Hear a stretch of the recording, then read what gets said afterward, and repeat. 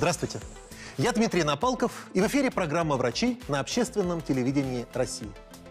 Программа, которая рассказывает о первых признаках различных заболеваний и о том, чем современная медицина может помочь в их профилактике и лечении.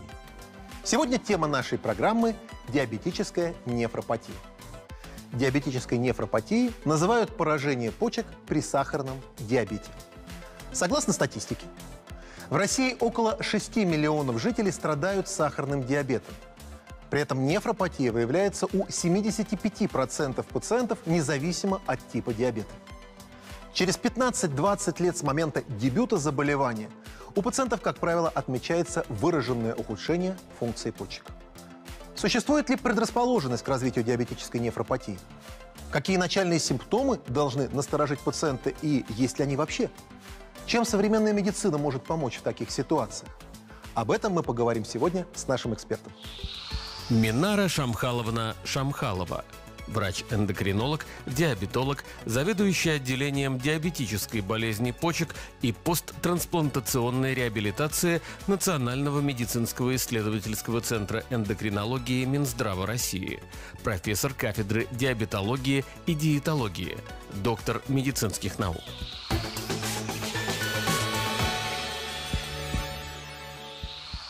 Здравствуйте, Минара Шамхаловна. Здравствуйте, Дмитрий Александрович. Мы сегодня с вами будем обсуждать тему поражения почек при сахарном диабете. Скажите, пожалуйста, как вы, эндокринологи, различаете? Поражение почек было связано с тем, что у пациента длительно протекала гипертония, ведь у очень многих пациентов с диабетом имеется гипертония. Может быть, атеросклеротический процесс прогрессирует? Или это все-таки сахарный диабет во всем виноват? Очень хороший вопрос, Дмитрий Александрович, потому что это он актуален для больных диабетом второго типа. Но если при первом типе все-таки мы имеем такую чистую модель поражения почек при диабете, хотя там тоже не всегда все бывает, так скажем, ясно и понятно, но в основном это, в общем-то, чистая диабетическая нефропатия. При втором типе, как правило, мы имеем так называемый сложный генез поражения почек, и у них, как правило, сочетается много проблем, которые приводят в общем к общей потере почечной функции. Ну, это, конечно, вы уже напомянули гипертонию, гипертоническая болезнь. Почему? Потому что, как правило, пациенты уже с этой проблемой вступают в диабет. Это может быть ишемическая нефропатия, связанная с поражением сосудов почек. Это может быть хроническая мочевая инфекция, тоже часто преследующая пациентов определенного возраста. Это могут быть чисто нефрологические проблемы, первично-почечные патологии, гломерулонефриты. Это будут социальные поражения, связанные с приемом определенных лекарственных препаратов, токсичных продуктов. Ну и, конечно, диабетическая нефропатия. Как же мы в этом вот, как сказать, таком хороводе различаем именно диабетическую нефропатию?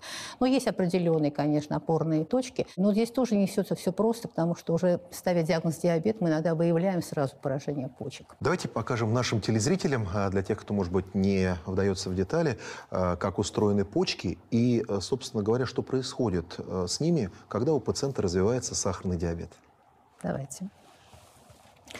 Ну, здесь представлена структура почки. Это хорошие, здоровые, нормальные почки. И вот та структурная единица почки, которую мы называем нефрон. Да? Это вот, э, так сказать, вот этот клубочек, канальцы, собирательные канальцы, проксимальные, дистальные. Вот эта единица такая, которая ответственна за работу почек.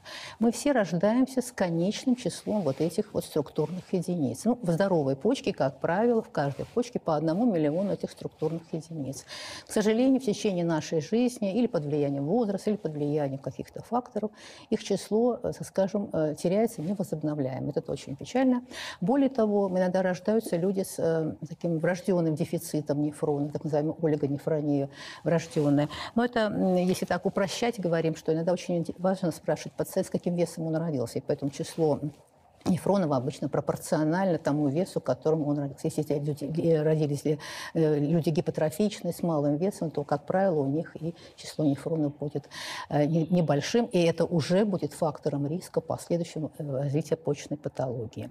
Ну, вот здесь показан отдельно клубочек, это очень важная, так скажем, структурная единица, ведь приносящая, выносящая артериол, сеть капилляров.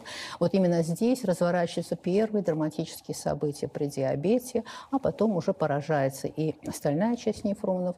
Э, в общем-то, и, в общем-то, все это поражено, и вот это вот хорошо показано, здесь выделено, что где все начинается.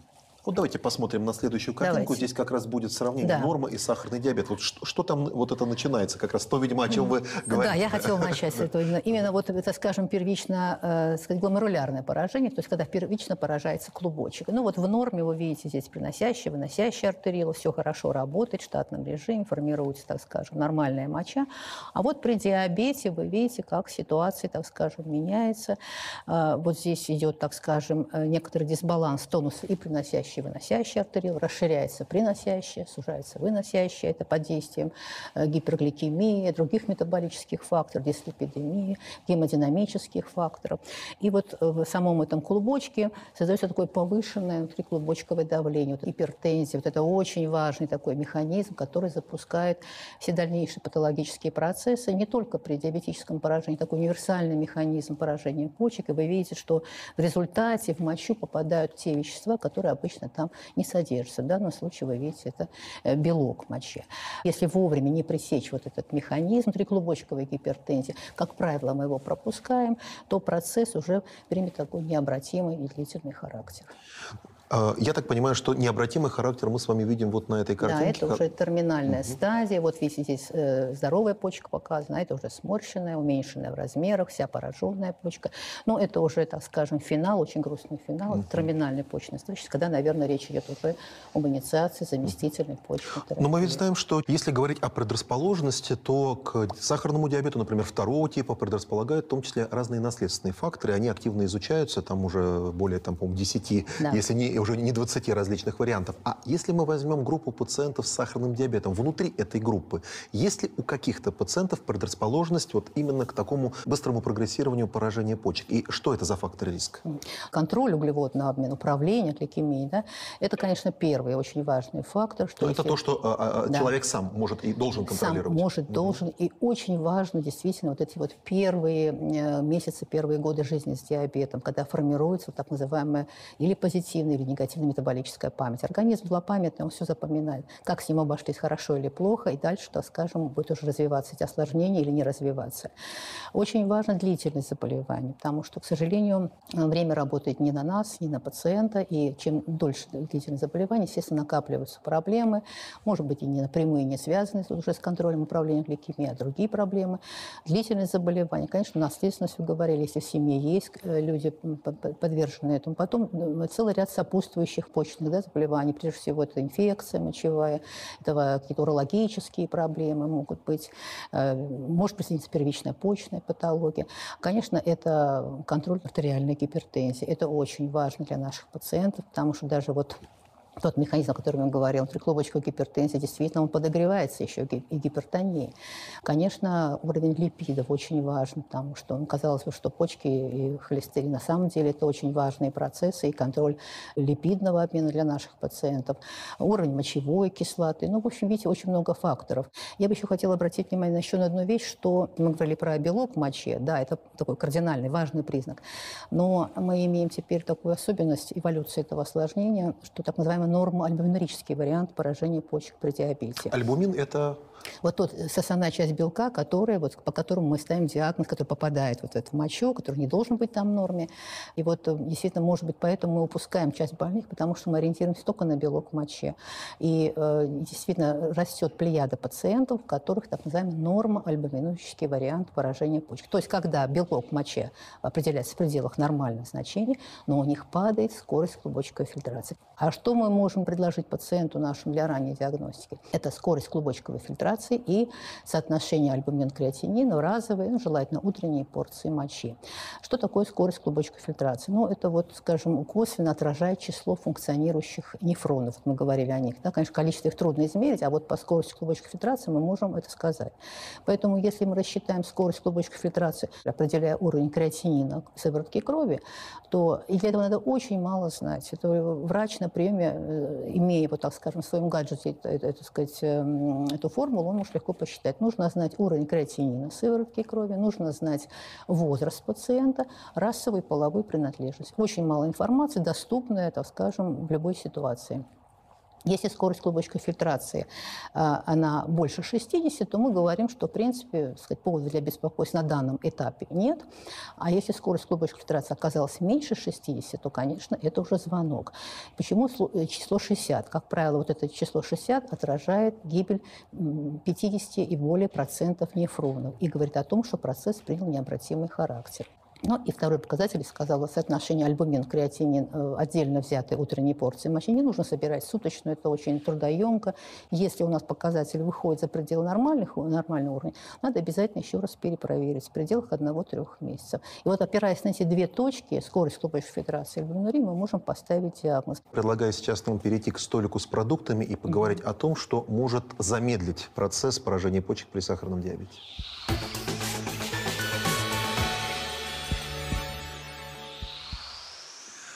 На нашем столе представлены продукты. Э, часть из них мы можем рекомендовать пациентам с сахарным диабетом, а, наверное, большинство нужно ограничить или просто запретить. Я предлагаю сейчас для наших телезрителей обсудить все по очереди. С чего начнем? Да. Ну, начнем, конечно, с белка. Как только функция почек начинает снижаться у наших пациентов, надо в питании ограничить э, белок. В данном случае здесь представлены и растительные, и животные. Вот растительные – это грибы, орехи, фасоль. Их а, надо ограничить. А, все, и растительные, и Любые. Да, но это очень разумное ограничение. Это не исключение ни в коем случае, потому что белок – это важнейший компонент для строения нашего организма. Поэтому в данном случае мы говорим 0,8 грамм на килограмм идеальной массы тела в сутки. Это очень маленькие ограничения. Совершенно, так скажем, ну, я думаю, что мы и не едим больше белка, как правило. Только не касается ограничения беременных ни в коем случае и растущий организм детей и подростков. Это очень важно. Но, конечно, надо выбирать те белки, где они меньше сочетаются с жирами, насыщенными. Ну, вот я так понимаю, вот в частности, вот так да. приготовленное вот мясо, так не стоит. жирное, да, еще да, со специями, да, это все-таки Наверное, сыр вариант. должен быть минимальной жирности, рыба должна быть там тоже какая-то, так сказать, э, ну, в любом случае, рыба лучше, чем мясо, конечно, да. А мясо лучше отварное? Да, да, да. Ну, в общем-то, и не есть каждый день э, яичный белок, он, он хороший, полноценный, ну, наверное, ограничить его там два раза в неделю. То есть угу. белок пациент должен получать в разумных э, количествах ежедневно, ну, это очень важно. Таким образом, давайте резюмируем. Белок необходим, белок необходим сбалансированный нужен и животный, и растительный, но при этом объем потребляемого белка да. ограничиваем. Еще очень важно, что мы рассчитываем этот, это вот этот 0,8, что я сказала, грамм, на идеальную массу тела, потому что мы знаем второй тип, ассоциирован с ожирением, поэтому если будет считать на реальную массу тела, мы получим очень большие цифры. Ну, еще очень любят наши телезрители вот такие продукты. Да. Консервы, чипсы, копчености. Это продукты с богатым содержанием натрия. Понятно, что это консервы, понятно, что это э, мясные продукты готового приготовления, быстрого приготовления. Но вот со сладостями мы реже встречаемся. Почему? Потому что мы привыкли говорить, а у натрия это как только соль, натрий хлор, где содержится 40% натрия. На самом деле натрий содержится в очень большом количестве продуктов. Это и сульфид натрия, и бикарбонат натрия, и цитрат натрия, который э, используется для приготовления и мороженых продуктов, и сладостей, и консервов, и сухофруктов. Поэтому надо понимать, что смотреть вот эти вот маркировки продуктов, когда вы покупаете, какой натрий там содержится. Потому что не, не сводить все просто к натрию хлору. На самом деле натрия очень много в различном виде, в различных солях, поэтому ограничение касается натрия. Если ориентироваться по натрию хлора, по соли, это должно быть не больше 5 грамм в сутки натрия хлора. Где, вот. Если мы говорим о чистом натрии, должно быть 3 грамма в сутки, не больше потребления. Но это, по сути, не досаливать пищу. Не досаливать пищу, да. И поэтому очень много ухищрений есть, когда мы говорим, что готовьте без соли, солите только при подаче на стол, не пользуйтесь в ресторанах, в ресторанах там, соевыми или и другими приправами, где очень много соли. Ну, какие-то ухищрения. Вот тут представлены продукты, которыми можно восполнить вкусовые ощущения в какой-то мере. Это вот э, куркума, это может быть чеснок, лук, э, лавровый лист, перец, перец. ну, всякие да. травяные приправы и прочее, прочее. Это облагородит вкус, тот же самый сок лимона, да, облагородит вкус и придаст ему хорошие вкусовые ощущения. Пациент не будет себя чувствовать обделенным во всех радостях жизни, потребляя. То есть это можно? Это можно. Угу. Это для, сказать, восполнения того натрия, от, от которого мы, так скажем, уберегаем наш нашего пациента. Вот, наверное, э, больше всего вопросов, конечно, это к продуктам, которые богаты калием. Если калий повышен, конечно, ну, надо все учесть все возможные другие причины, но обязательно надо учесть те продукты, где содержится очень много калия. Ну, тут привезены картофель, банан, сухофрукты, орехи, шоколад. Но калий надо обязательно контролировать и подстраивать свое питание под именно его уровень. Ну, тут, наверное, к, к этому очень хорошо пристраивается физическая активность, о которой мы тоже почти не имеем возможности говорить, учитывая малое время на прием, хотя физическая активность тоже должна быть у пациентов наших достаточно, те же самые 150-175 минут в неделю, каких-то, так скажем, аэробных упражнений, там простая ходьба, доступная езда на велосипеде, плавание. Это тоже у нас не хватает времени, но это очень важно, потому что эти пациенты у нас страдают, и э, со временем идет потеря мышечной массы, так называемый процесс саркопении. Вот это очень такой тревожный симптом, опять-таки, это и белковой энергетической недостаточности, и физической неактивности наших пациентов. Надо найти время, конечно, обговорить и питание, и физическую активность с нашими пациентами. Это очень важно. Профилактика развития и сахарного диабета, и его осложнений – это очень и очень важно. Но, к сожалению, иногда врачи подключаются только на финальной стадии, на далеко зашедших стадиях, например, поражение почек. Давайте посмотрим сюжет наших корреспондентов из Ростова-на-Дону о лечении пациентов с помощью гемодиализа. Для того, чтобы узнать, как проводится гемодиализ, наша съемочная группа побывала в одной из клиник Ростова-на-Дону, куда обращаются за помощью больные с терминальной стадией диабетической нефропатии. Очень важен тот период, э, пока человек может жить без диализа. И насколько человек к этому внимательно относится, насколько он прислушивается к советам врачей, настолько этот период может быть э, удлинен. Важно это потому, что в терминальной стадии нефропатии полностью утрачивается функция почек, и с этого момента гемодиализ необходим пожизненно. Не все пациенты это понимают. Процедура гемодиализа нужна пациенту не менее 72 часов в неделю. Пациент будет э, до конца своих дней три раза в неделю приезжать для проведения э, процедуры гемодиализа. Сегодня гемодиализ проводят с помощью специального аппарата, который называется искусственная почка. Во время процедуры происходит очистка крови так, как это бы сделала настоящая человеческая почка. Пациент подключается к аппарату посредством вот таких кровопроводящих магистралей. От него кровь э, забирается на аппарат, попадает вот такое приспособление, которое называется диализатор. Диализатор – это мембрана, с помощью которой и происходит очистка крови. С одной стороны этой мембраны проходит кровь пациента, с другой стороны подается специальный диализирующий раствор и методом диффузии происходит очищение крови. Такая процедура длится в течение 4 часов. Очищенная кровь возвращается обратно в кровеносное русло пациента.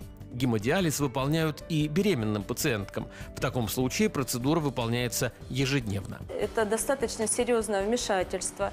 И нужно понимать, что 4 часа кровь пациента контактирует с инородным телом. Конечно же, организм не может этого не замечать. Организм может э, давать на это какие-то непредсказуемые реакции. Вот. Но в целом с ростом качества продукции для гемодиализа это и высоко биосовместимые мембраны, и высоко совместимые кровопобочные проявления, какие-то вот э, реакции, они сведены практически к минимуму. Сегодня в России гемодиализная помощь набирает обороты, чтобы обеспечить доступ пациентов к жизненно необходимой процедуре. Поэтому с каждым годом специализированных гемодиализных центров в стране становится все больше. Очень позитивная информация о том, что количество гемодиализных центров в стране увеличивается, но лучше не допустить, чем потом лечить. Давайте все-таки э, скажем нашим телезрителям, наверное, перечислим в целом классы препаратов, которые позволяют уменьшить риск любых сосудистых осложнений, как э, крупных сосудов, так и мелких. Ну вот мы говорили о немедикаментозных методах лечения. Конечно, э, они действительно замедляют прогрессирование почечной патологии, но очень важно своевременно назначить им патогенетическую терапию. Это препараты, блокирующие активность рениновой системы. Это ингибит, класс ингибитора ангиотензин превращающего фермента и блокаторы рецепторов ангиотензина-2. Они доказали свою эффективность на самых ранних стадиях. К сожалению, первичную профилактику они не могут осуществлять, но вот уже развившаяся почечная патология очень хорошо контролируется контролируется этими, этими препаратами. Поэтому э, назначать эти препараты необходимо даже тем пациентам, у которых нормальное артериальное давление, но уже выявлен патологический уровень альбуминурии. То есть когда он уже так называемый микроальбуминурии, который не видим в обычном анализе мочи, но видим в специальном анализе, о котором я уже говорила. Очень многие пациенты, которые приходят ко мне с диагнозом сахарный диабет, говорят о том, что э, препараты из группы статинов они не любят и зачастую не считают, что они им нужны, и иногда даже демонстрируют мне неплохие показатели уровня общего холестерина и липидный профиль у них вполне себе ничего. Как вы к этому отнесетесь? А, это обязательная терапия для наших пациентов. Я уже поговорила, что наши пациенты живут и погибают в зоне высокого кардиоваскулярного риска. Вообще хроническая болезнь почек – это независимый фактор риска сердечно-сосудистых заболеваний. К нам в студию пришла ваша пациентка, и я предлагаю продолжить эту беседу в компании с ней. Галина Степановна, проходите, пожалуйста, к нам. Здравствуйте, Дмитрий Здравствуйте. Александрович. Здравствуйте, очень приятно. Прошу вас, позвольте Спасибо. вас поприветствовать. Прошу, присаживайтесь. Спасибо. Первый мой к вам вопрос. Как долго вы страдаете сахарным диабетом? А, Ну, диагностировали в 98 году, значит, уже где-то 22 года. Но у меня есть подозрение, что и где-то, может быть, года 2-3 до того были некоторые проявления, которые я в то время не смогла как бы как-то квалифицировать. Страдаете ли вы повышенным давлением? Да. Скажите, пожалуйста, а когда впервые ваши доктора заговорили о том, что есть определенные проблемы с функцией почек? У меня это случилось, э, сейчас скажу, в 2014 году. Я была в санатории, в котором раньше не отдыхала много-много лет. И у меня вдруг белок под единицу, единица. И вот тогда все это завертелось. Я за год где-то пришла к нормальным показателям а, белка, но в основном это диета. Я принимала все лекарства, которые я до этого принимала, связанные с э, диабетом, как бы чистым диабетом. Вот. А здесь очень жесткая диета. Ни рыбы, которые вы показывали, ни гороха, ни фасоли, то есть ничего бобового, никакой рыбы. Не в смысле соли, а вообще рыба в смысле фосфора и соли тоже. Никакой соли. Но я с тех пор как-то научилась. э, Кашу, которую готовлю утром, без соли мне нормально. Минар Шамхаловна, прокомментируйте, пожалуйста, вот Ну, эту ситуацию. Такой резкий скачок, во-первых, да, резкое Да. ухудшение анализа, И насколько это часто непоня- бывает? Непонятно, почему. Этот уровень белка, он был однократный. Вот я к чему говорю, что надо обязательно перепроверять, потому что когда мы повторно стали анализировать, у нас оказался этот стабильно, этот показатель на уровне микроальбуминурии, и он не превышает этих значений до сегодняшнего дня. Поэтому вот, может быть, тот, э, скажем, дебют, может быть, и даже, может, и хорошо, что это так привлекло внимание, да, вот, но дальше он не воспроизводился на таком уровне, а осадок мочи оставался все время у нас чистым. И дальше Галина Степановна у нас получает инсулинотерапию значит, в интенсивном режиме, получает метформин. Ну и совсем недавно, Галина Степановна, сами скажите, мы Да, присоединили вот, еще один э, препарат. Ну, где-то менее года назад мне было назначено новый препарат, который позволяет одновременно со снижением давления осуществлять функцию диуретика. Контроля Вот, контроля. И вот и мне он очень помог. Меня очень мучили отеки, но вот принимая этот препарат, и, в общем, мне стало значительно лучше. Я так понимаю, что речь идет о тех революционных классах препаратов, которые изменили диабетологию. Прокомментируйте, Не пожалуйста. только диабетология, Да, но уже думаю. и кардиологию меняет. И да. наверное, еще и нефрологию Да. изменит, да. Ну вот этот препарат, эта группа ингибитор CGLC2, натриглюкозтранспортера типа 2, они пришли к нам уже, ну не год, конечно, м, раньше. И еще я бы назвала еще одну группу агонисты рецептора глюкогоноподобного пептида 1, вот с большим нефропротективным потенциалом. Вот эти две группы э, препаратов, они здорово изменили, конечно, и стратегию, и тактику Казалось бы, лечения. уже после такого количества лекарств ничего не будет. И вот произошло. Да, более того, мы хотим сказать, что они уже, так скажем, исходно задуманы как сахароснижающий препарат, они уже вышли за рамки вот этой своего первоначального предназначения. Теперь эти препараты, э, сказать, начинают рассматриваться как препараты для нефро, кардиопротекции, да, и вот учитывая такие механизмы, очень э, важные механизмы, в данном случае группа препаратов GLT2, вот мы рассказывали я вначале про внутриклубочковую гипертензию, вот это очень важно, что именно этот тонкий механизм воздействует. Эти препараты, это очень важно, и вот действительно мы говорим уже, может быть, мы на подступах и к первичной профилактике где-то подбираемся к этому делу.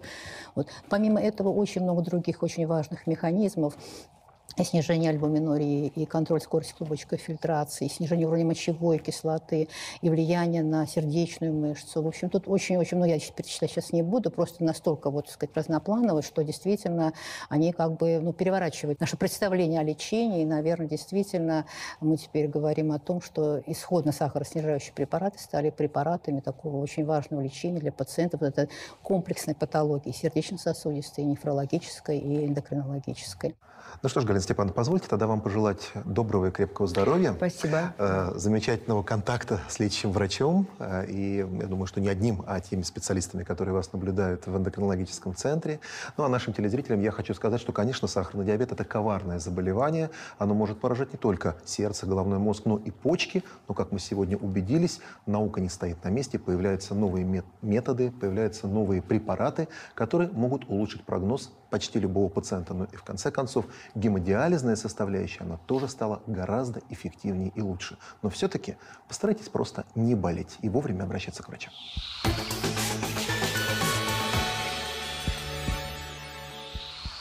Ну что ж, вот, пожалуй, и все, о чем мы хотели рассказать в нашей сегодняшней программе. И помните, что осознание своей болезни и готовность лечиться – это уже первый шаг навстречу к исцелению. С вами была программа «Врачи». Смотрите нас на канале ОТР.